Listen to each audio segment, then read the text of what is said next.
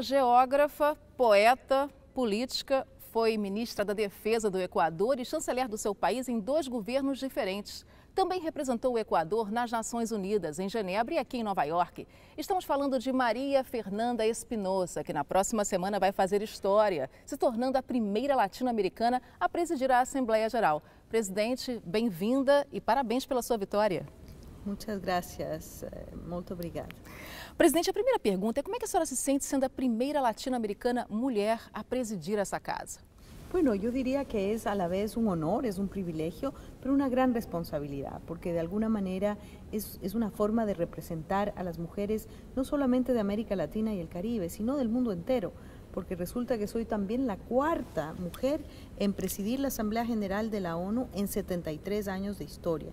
Por lo tanto, cuando las mujeres estamos ejerciendo posiciones eh, de alta responsabilidad, nos toca hacer un doble esfuerzo, nos toca probar que nos hemos ganado ese lugar porque tenemos las capacidades, porque tenemos la competencia y porque lo podemos hacer mejor o igual que lo pudieran hacer los hombres. Así es que aquí estamos listas para enfrentar los grandes retos que presenta el mundo en estos momentos, los grandes desafíos del multilateralismo y también la necesidad de llevar a las Nações Unidas mais cerca da gente. Agora, esse ano, eh, logo depois da, da, sua estreia nessa casa, digamos assim, eh, vai haver uma reunião bastante importante em, no Marrocos, a reunião sobre migração, a importância do Pacto Global para a Migração. De que forma a senhora acha que esse pacto vai realmente ajudar os migrantes, concretamente falando? Bueno, realmente el Pacto Global de las Migraciones es uno de los éxitos y una prueba de que el sistema multilateral no solamente es una necesidad, eh, pero es la única manera de resolver los grandes problemas que enfrenta la humanidad.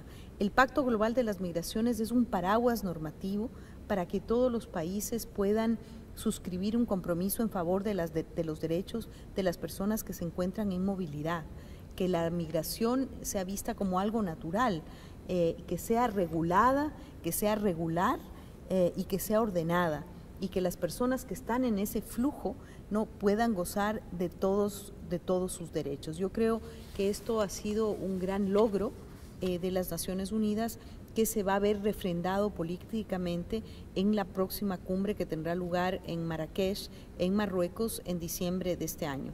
Habrá un gran, compromiso de los jefes de Estado y las jefas de Estado y de Gobierno para que realmente eh, exista una apropiación de todos los países de este pacto global que va en favor de las personas en movilidad humana. E até porque, presidente, os migrantes contribuem para as sociedades em que eles vivem, né? eles trazem o aporte. Yo creo que una de las mayores riquezas que tiene la humanidad es su diversidad, su diversidad cultural, su diversidad biológica, eh, su eh, diversidad en formas eh, de pensar, de hacer, en fin. Y creo que la migración permite justamente celebrar esa, esa, diversidad.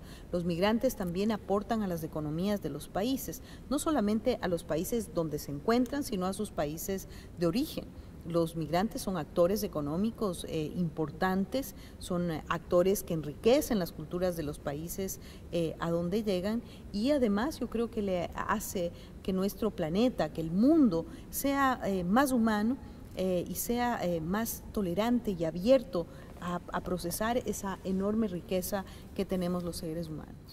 E para terminar, nós sabemos que vai ser um ano de bastante trabalho, a sua agenda está cheia, a senhora tem sete prioridades, a senhora disse que é uma para cada dia da semana. Mas a senhora também é poeta.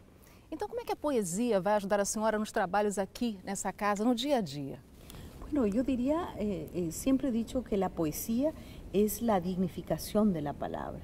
Y creo que la política y la política internacional tienen que ser también un ejercicio de dignificar el discurso, la palabra, la capacidad de diálogo. Creo que la política y la política internacional eh, van a ser cada día mejores si tienen más poesía. La poesía tiene que dignificar, tiene que llevar sentido y contenido a las decisiones políticas que tomamos.